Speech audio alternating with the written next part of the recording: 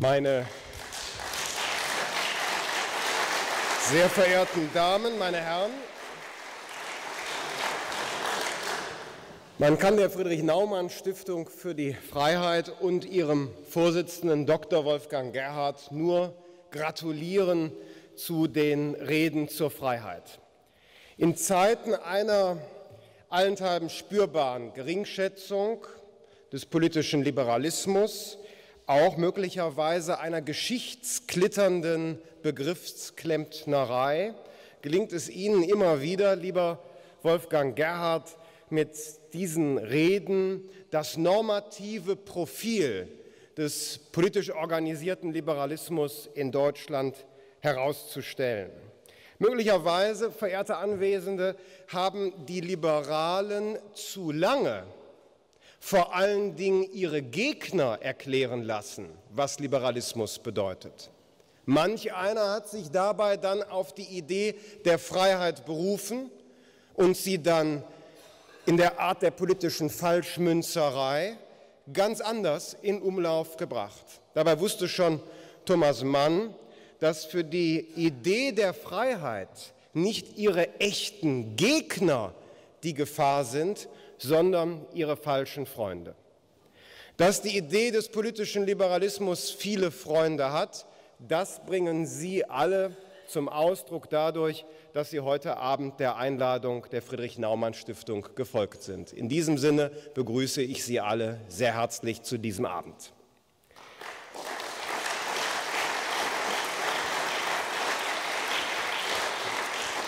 Meine Damen und Herren, vor einiger Zeit habe ich der Wochenzeitung Die Zeit ein Interview gegeben und die erste Frage des Journalisten war, wie ich eigentlich in dieser Gegenwart noch freiheitliche Politik vertreten könne.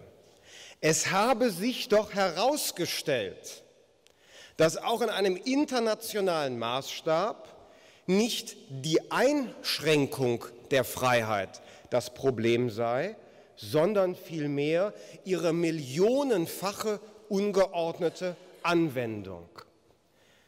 Allenthalben ist jetzt auch die Rede vom Marktversagen. Überall hören wir vom Marktversagen. Gemischt im Wahlkampf, der ja noch elf Tage andauert, mit dem Vorwurf der Steuerhinterziehung, der in Deutschland grassiere. Merken Sie, dass damit eigentlich mit diesen Argumenten, die die Beweislastumkehr bei der Einschränkung der Freiheit fordern, der Betonung des tatsächlichen oder angeblichen Marktversagens und der Warnung vor Steuerhinterziehung, dass damit ein Misstrauensvotum verbunden ist, nämlich an Sie, an uns alle als Bürgerinnen und Bürger? Wer fortwährend vom Marktversagen spricht, sagt ja nichts anderes, als dass unsere Selbstkoordination, die Nutzung unserer Möglichkeiten in Freiheit, im vielfältigen Miteinander ins Versagen führt, weshalb allenthalben natürlich die wohlmeinende, kluge, weise Hand der Politik gefordert ist. Und wer fortwährend von Steuerhinterziehung allein spricht, erweckt doch den Eindruck, dass diejenigen, die Leistungen erbringen, pauschal dem Gemeinwesen seinen fairen Anteil vorenthalten. Damit Sie mich nicht missverstehen. Es gibt Exzesse an den Märkten und mit Sicherheit gibt es auch Steuerhinterziehung. Per Steinbrück muss nur seine Schwiegermutter danach befragen, die wird ihm manches erklären können. Aber es ist eben die Frage, was die Regel und was, verehrte Anwesende, die Ausnahme ist.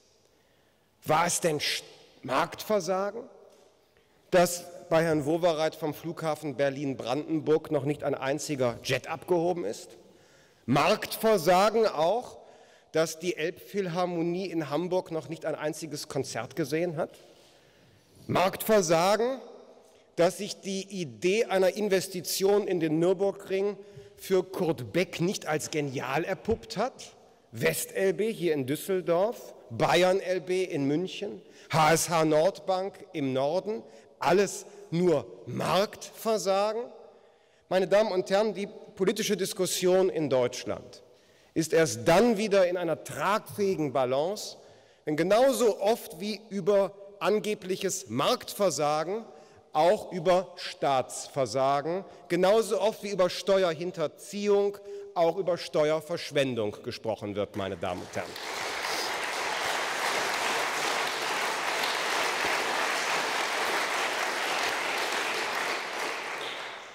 Meine Damen, meine Herren, für uns Liberale ist ein Leben in Würde ohne Freiheit nicht denkbar. Für uns ist der Liberalismus nicht ein Set von kühlen Monopoly-Regeln, die man anwenden müsste, sondern für uns ist die Idee, sein eigenes Leben in die Hand nehmen zu dürfen, unsere Motivation. Sie wollen wir möglichst vielen Menschen vermitteln, möglichst vielen Menschen die Chance geben, Autorin oder Autor der eigenen Biografie zu sein. Das beseelt die Liberalen. Deshalb setzen wir uns ja für klare Regeln ein, damit niemand unter das Machtdiktat eines anderen kommen kann. Und deshalb sorgen wir uns um die Verhältnismäßigkeit auch des Gesetzesbefehls, den die Politik ausspricht.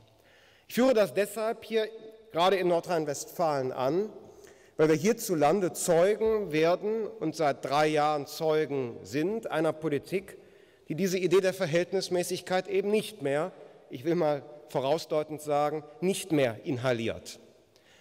Denn beispielsweise gilt in Nordrhein-Westfalen das strikteste Rauchverbotsgesetz der Republik. Auch wir als freie Demokraten haben zu unserer Verantwortungszeit seinerzeit den konsequenten Schutz vor Passivrauchen durchgesetzt. In der Gastronomie, Bildungseinrichtungen, auf dem Bahnsteig, in allen öffentlichen Bereichen. Jetzt aber gibt es hier eine Politik, und ich könnte viele andere Beispiele aus dem Alltag benennen, da reicht der Gesetzesbefehl sogar bis in den privat angemieteten Nebenraum der Gaststätte, in dem Sie Ihren 30, 40, 50, 60, 70, welchen Geburtstag auch immer feiern sollen. Selbst da will die Politik besser wissen, was für Sie als Gastgeberin oder Gastgeber oder für Ihre Gäste besser ist, als Sie selber entscheiden zu lassen.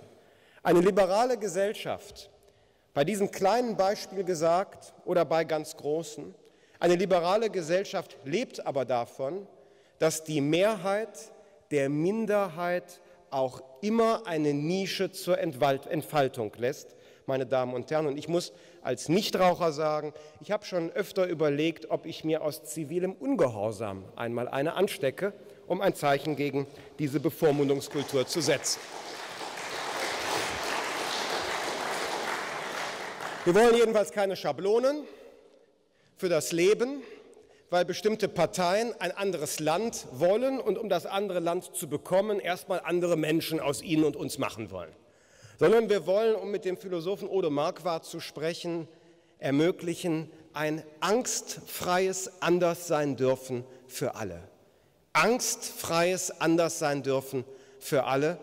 Ein wunderbares Wort, um Vielfalt auszudrücken, die unsere Lebensqualität bestimmt. Und damit bin ich, verehrte Anwesende, bei Ulf Poschardt angekommen. Denn er steht für diese Ideen im publizistischen Raum wie wenige andere. Sie haben ihn zuletzt vielleicht als aufmerksame Zeitungsleser am vergangenen Sonntag wahrgenommen, weil er auf einer längeren Strecke in der Bild am Sonntag über äh, sein aktuelles publizistisches Projekt berichtet hat, bei dem es um automobiles Kulturgut, Ulf, so kann man vielleicht sagen, geht. Und äh, ich glaube, es gibt äh, wenige in Deutschland, die in der Lage sind, mit solch wunderbaren Formulierungen die Karosserieform von Autos zu beschreiben wie du. Das Dekolleté, schreibt er über die Kotflügel der Vorderhaube. Wunderbares Buch. Aber du bist nicht hier, weil äh, wir die gleiche Leidenschaft für alte Autos teilen sondern weil wir die gleiche Leidenschaft für den politischen Liberalismus teilen.